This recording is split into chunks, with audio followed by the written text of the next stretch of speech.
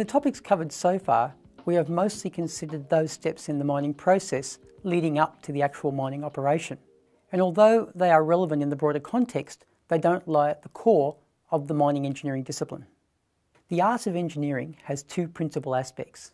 These are achieving an outcome and doing so in an optimised way, subject to a complex array of limitations and constraints. So, with these ideas in mind, we can identify the core tasks of the mining engineer as being to produce a conceptual design of an operation to exploit a mineral deposit which is technically feasible, economically viable, environmentally responsible, and most importantly, fundamentally safe for miners. And to develop the conceptual design to produce an operational plan which achieves the above aims at every stage in the life of the mine, and to oversee the mining operation as it occurs and continuously refine the plan as circumstances and conditions change and problems arise. As with all engineering problems, there is no single unique way to design a mine.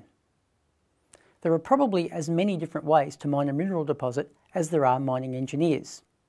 Solutions to this problem can generally be grouped into two categories those that simply won't work, they're not technically feasible, and those that will work, but they may or may not be optimal. To develop a technically feasible mine design requires the application of a knowledge of science and engineering mechanics. One can envisage an amazing array of clever theoretical solutions to mine a mineral deposit, but assessment of their feasibility and practicality requires that every aspect of them be quantified in some way.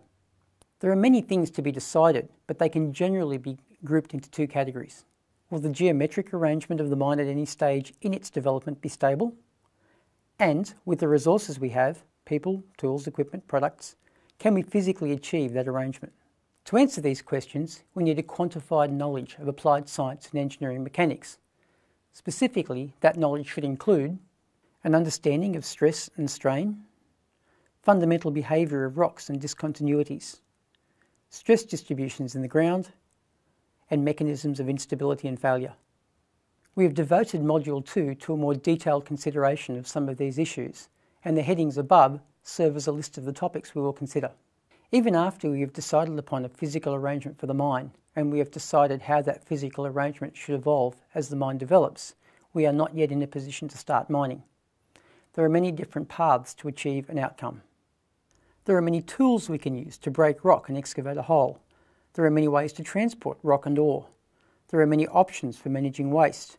There are choices to be made about how we balance development activities with production and how we want to run the mine as a business to optimise the return. Key decisions that must be made include should we use surface or underground mining methods? What methods will we use to break up the ore and waste rock to maximise effectiveness and minimise cost? What methods or machinery will we use to transport the ore and waste rock? How much ore are we willing to sacrifice if it allows us to use a more efficient excavation method? How do we manage mining and beneficiation wastes? What are our obligations in regard to mine closure and rehabilitation? And how do we manage safety? A large part of the role of a mining engineer is to determine how mines operate as their physical arrangement evolves.